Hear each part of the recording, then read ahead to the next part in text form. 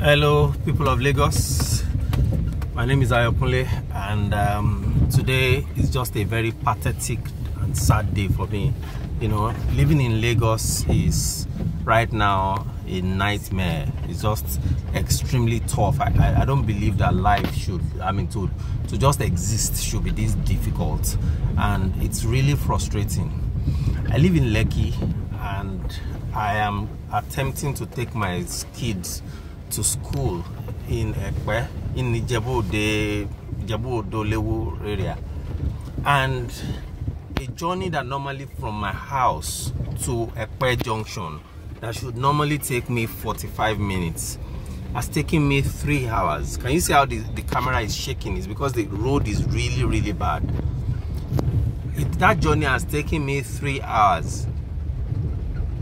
First, this road that is really really bad now if, if I, I, did a video on on a few uh, months ago just before the rain started how on, on how this same road was really really bad.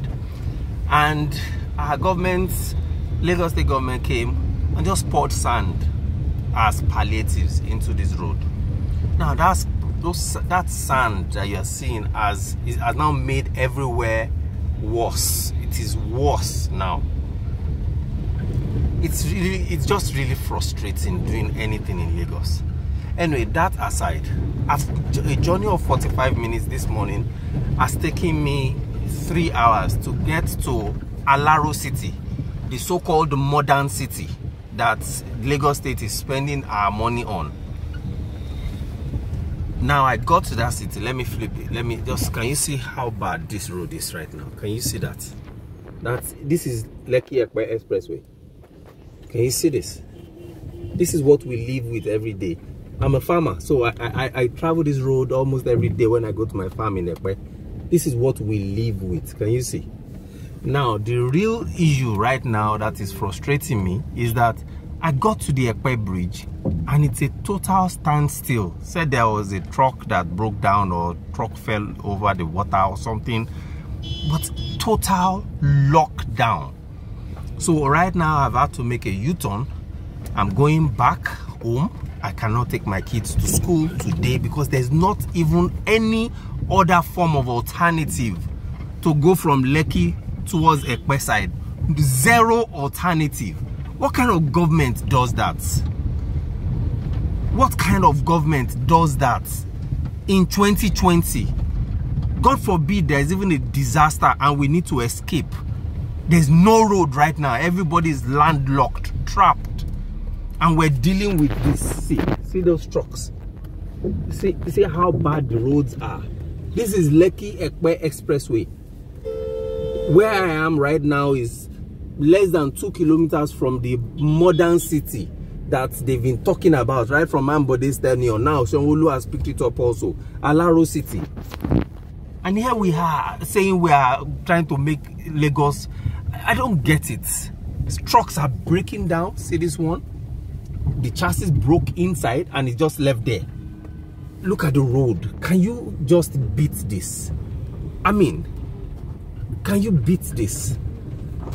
And this is what we deal with every day living in Lagos. Life should not be this difficult just to exist we are not asking for stipends. We are not asking for empowerment. We are not asking for just come and give us the basic things. Let us just be able to exist and do life as normal human beings without all these unnecessary frustrations.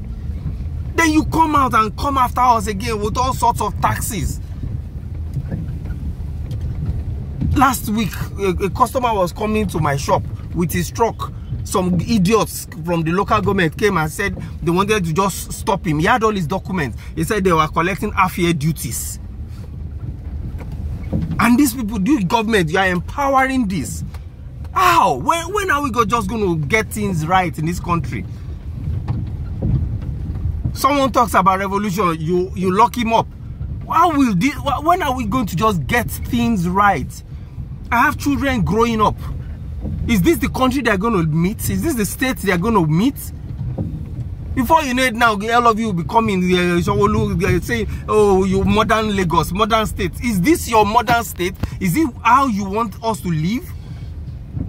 a journey of 45 minutes this is what we face see lekki ekpe expressway this is lekki ekpe expressway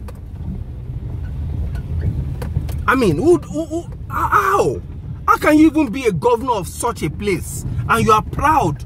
And you be if the day you want to come here now they'll come and pour sand for you. And everything will look okay. Ah god has to judge you. God has to judge all of you in government.